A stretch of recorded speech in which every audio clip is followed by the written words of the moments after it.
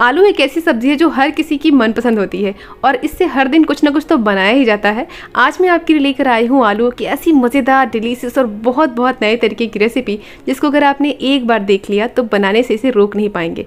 इतनी ज़्यादा औसम है और स्वाद इसका इतना ज़्यादा डिलीशियस है कि बस उंगलियाँ चाटते रह जाए। बहुत ही कम चीज़ों से कम मेहनत में बनकर तैयार होती है और देखना जो भी खाएगा ना वाह वाह करता रह जाएगा। तो पूरी वीडियो को लास्ट तक ज़रूर से देखना, आपको ये बहुत बहुत बहुत पसंद आएगी।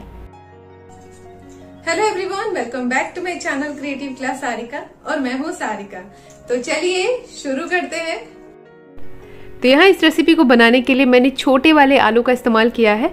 आप अपने हिसाब से इसकी क्वांटिटी कम ज़्यादा कर सकते हैं। मैंने आठ आलू लिए हैं और अब आलूओं को अच्छी तरीके से मैंने पानी से पहले धो लिया था और वापस से हम इनको एक बार छील लेंगे, फिर से एक बार पानी से धो लेंगे।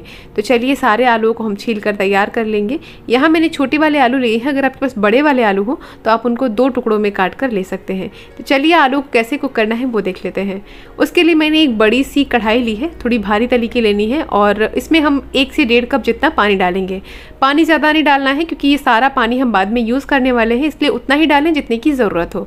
तो यहाँ मैंने एक कप पानी डाल दिया है, इसमें सबसे पहले ये सारे छिले हुए आलू डालेंगे, साथ ही तीन पके हुए टमाटर और एक बड़े साइज़ का प्याज। तो प्याज को मैंने इस तरीके से मोटा मोटा काट कर लिया है, ताकि अगर हम इनको कुक करें तो बहुत ज़्यादा मशी से ना हो जाए। साबुत साबुत रहे, इसलिए बड़े टुकड़ों में काटना है।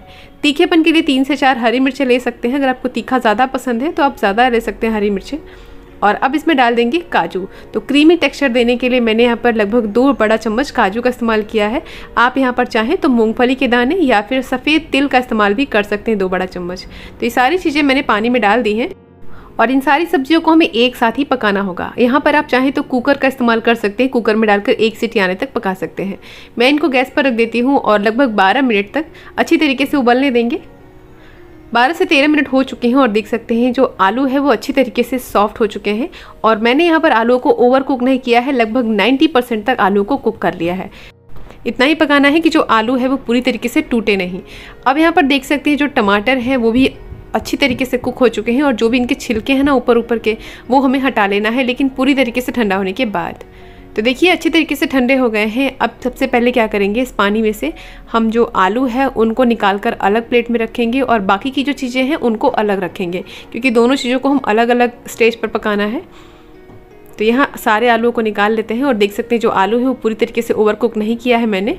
आलूओं को भी साइड में रखते हैं और चलिए इन सारे जो हमने चीज़ें कुक की हुई हैं सब्ज़ियाँ, उनको डालेंगे एक मिक्सी के जार में। तो जो पानी है उसको अभी नहीं डालेंगे, पानी हम बाद में यूज़ करेंगे।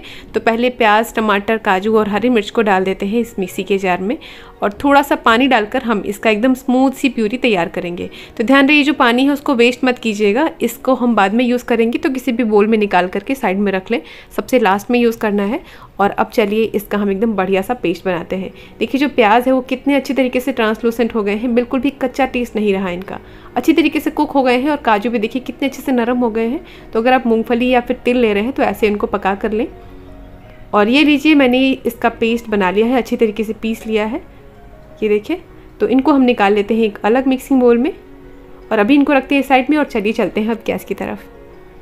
तो उसके लिए मैंने एक कढ़ाई गर्म होने रख दी है और इसमें डाल देंगे एक बड़ा चम्मच कुकिंग ऑयल तो मैं सरसों का तेल यूज़ कर रही हूँ। आप कोई से भी कुकिंग ऑयल ले सकते हैं। तेल जैसे ही गर्म होता है हल्का सा, हम इसके अंदर डाल देंगे आलू जो हमने उबाल करके लिए हुए थे। तो सबसे पहले हम सारे आलुओं को कुक करेंगे।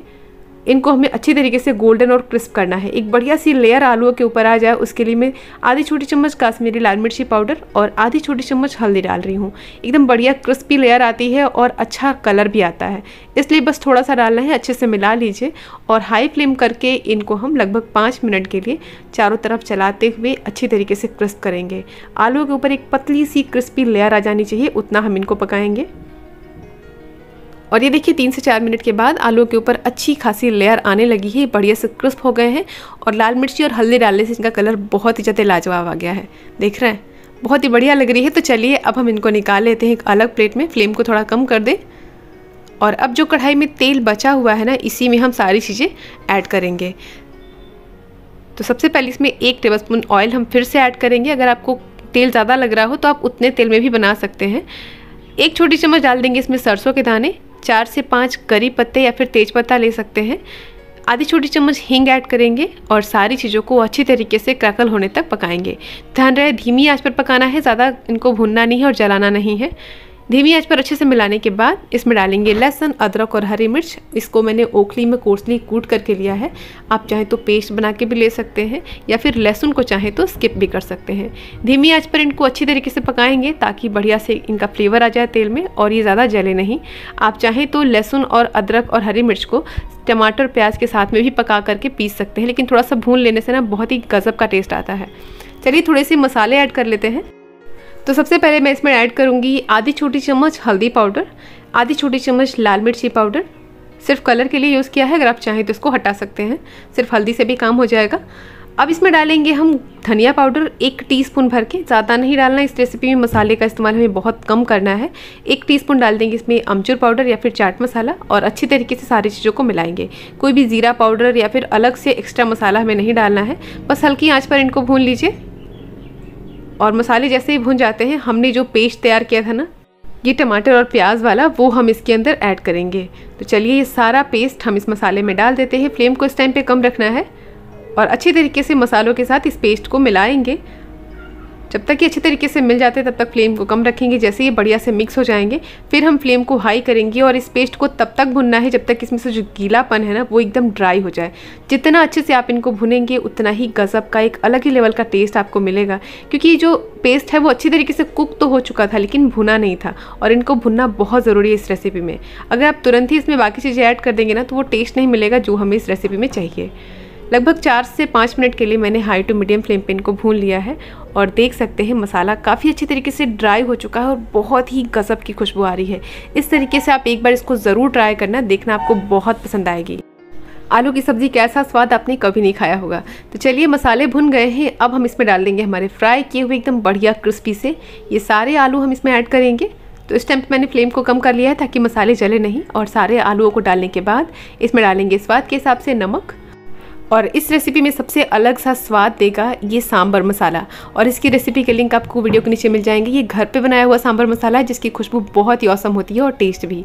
तो आप जाकर के उस रेसिपी को देख सकते हैं फिर बाज़ार वाली भी ले सकते हैं। मैंने एक टेबल स्पून सांबर मसाला लिया है। अब डाल देंगे इसमें कसूरी मेथी। और ये कसूरी मेथी भी घर पर बनाने की विधि आपको वीडियो के नीचे डिस्क्रिप्शन में दी गई है, जाकर देख सकते हैं। ये सालों तक ख़राब नहीं होती और खुशबू वैसे ही मेंटेन रहती है। अच्छी तरीके से सारी चीज़ों को मिलाएँगे और अब इसमें बारी आती है पानी डालने की। तो पहले सारे मसालों को अच्छी तरीके से आलू में मिला लीजिए, फिर इसमें पानी ऐड करेंगे। तो पानी हम एक्स्ट्रा से सादा पानी नहीं ऐड करेंगे। हमने जो यहाँ पर सब्जियों को उबाल कर लिया था ना, और जो पानी बच गया था, ये पूरा पानी इसमें ऐड करेंगे। अगर आपको ज़्यादा पतली ग्रेवी पसंद हो तो आप ऊपर से थोड़ा सा पानी और ऐड कर सकते हैं, जो सादा हो। मैं यहाँ पर ज़्यादा पानी नहीं डालूँगी, क्योंकि जो आलू है और सारी सब्ज़ियाँ हैं, वो मसाले अच्छी तरीके से कुक हो चुके हैं। तो अब इनको ज़्यादा देर पकाने की ज़रूरत नहीं है, सिर्फ़ पाँच से सात मिनट हम इनको धीमी आँच पर पकाएँगे, ताकि जो आलू थोड़े बहुत कच्चे रह गए हैं, अच्छी तरीके से सॉफ्ट हो जाए और मसालों के साथ डूब कर और भी ज़्यादा टेस्टी हो जाए। धीमी आँच पर पकते हुए इनको पाँच मिनट हो चुके हैं और अब आइए चेक कर लेते हैं। वाह आप देख सकते हैं इसका लुक कितना ज़्यादा औसम लग रहा है और खुशबू भी इसकी बहुत बहुत लाजवाब है। आलू अच्छी तरीके से सॉफ्ट हो चुके हैं ग्रेवी बिल्कुल ऐसी ही चाहिए, बहुत ज़्यादा गाढ़ी रख देंगे तो सब्ज़ी जैसे से ठंडी होगी, सारा जो रस है वो आलू अब्जॉर्ब कर लेंगे, इसलिए थोड़ा सा पतला ही ग्रेवी रखना है। तो ये तैयार है, चलिए सर्व करते हैं।